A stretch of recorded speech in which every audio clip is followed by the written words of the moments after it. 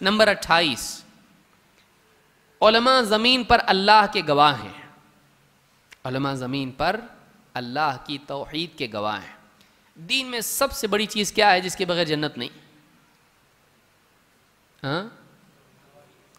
توحید۔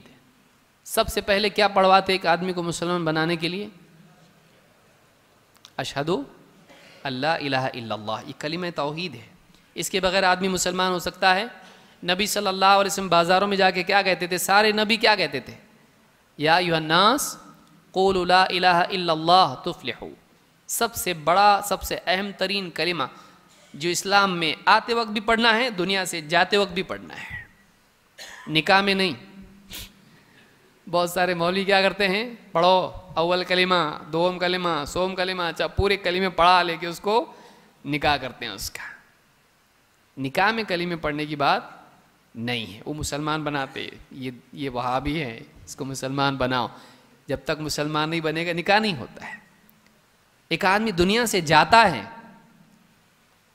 اپنے مرنے والوں کو لا الہ الا اللہ کی تلقین کرو۔ لقین موتاکم لا الہ الا اللہ۔ اپنے مرنے والوں کو، مرے ہو کو نہیں۔ مرنے والوں کو، جو مرتے ہو کو، جو مر رہا ہے ابھی، اس کو کلمہ پڑھو۔ مرنے کے بعد کیا کلمہ پڑھائے گا اس کو؟ گیا ہوں۔ اللہ کے نبی صلی اللہ علیہ وسلم ابو طالب کے پاس کب گئے؟ مرنے کے بعد یا مرنے سے پہلے؟ مرنے سے پہلے۔ یہ طریقہ ہے۔ مرنے کے بعد قبر پہ جا کے نہیں، یہ تلقین۔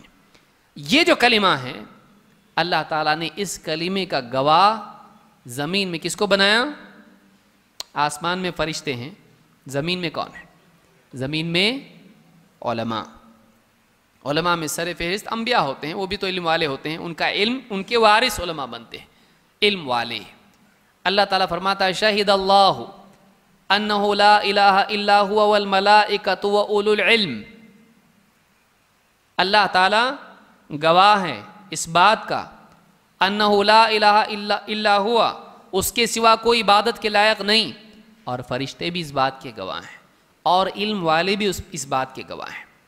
پہلی گواہی اللہ کی، دوسری فرشتوں کی، تیسری علم والوں کی۔ توحید کے لیے اللہ تعالیٰ نے اپنے اور فرشتوں کے ساتھ کس کی گواہی ذکر کی؟ علم والوں کی۔ کیونکہ توحید کا معاملہ تمام تر علمی ہے۔ علم کا بگاڑ عقیدے کا بگاڑ پیدا کرتا ہے۔ عقیدے کا بگاڑ شرکیات اور خرافات زندگی میں لاتا ہے۔ اصل اس کی اصلاح کہاں ہوتی ہے؟ ادا صلحت، صلح الجسد کلو جب دل صحیح ہو جائے، سارا جسم صحیح ہو جاتا ہے۔ دل کا عقیدہ جب صحیح ہوگا، زبان سے شرکیہ باتیں نہیں نکلیں گی۔ جسم میں شرکیہ اعمال زندگی میں نہیں آئیں گے۔ عقیدہ صحیح ہونا چاہیے۔ لیکن عقیدہ صحیح کب ہوتا ہے؟ جب علمی دلائل اس کے سامنے پیش کیے جائیں توحید کے اور شرک کی تردید کے۔ علم کے ذریعے ہی لوگوں کے عقیدے کی اصلاح کی جا سکتی ہے۔ اس کے لیے کون؟ گواہ ہیں اللہ کے زمین میں، علماء۔ علماء کا مقام معمولی نہیں ہے۔ آپ آج آج ایسا ہو گیا ہے کہ علماء کا مقام لوگ نہیں کیا علماء علماء؟ نہیں، کچھ بھی کام کے نہیں علماء۔ کیا بھی نہیں کر رہے علماء؟ کیا بھی نہیں کر رہے۔ تیرا نکاح کون پڑھایا؟ جنازہ کون پڑھایا ابا کا؟ جائیداد کے مسائل کس سے پوچھا؟ پیشاب پاخانے کے مسائل کون سکھایا؟ سب تو علماء کر رہے ہیں۔ لیکن شہرت کے کام بڑا بڑا سٹیج نہیں بنا رہے علماء۔ بڑے بڑے ٹی وی چینل نہیں بنا رہے علماء۔ تو علماء کو آپ کا پیمانہ آپ کا چلے گا یا اللہ کا؟ اللہ کے نبی صلی اللہ علیہ وسلم نے علماء کی بہت فضیلت بیان کی جو آگے آئے گی۔ علماء اللہ کے گواہ ہیں، توحید کے۔ ان کا مقام اونچا اللہ نے کسی اور کو نہیں ذکر کیا۔ کس کو ذکر کیا؟ علم والے۔ علم والے اللہ تعالیٰ کی توحید کے گواہ ہیں۔ یہ ان کی فضیلت ہے۔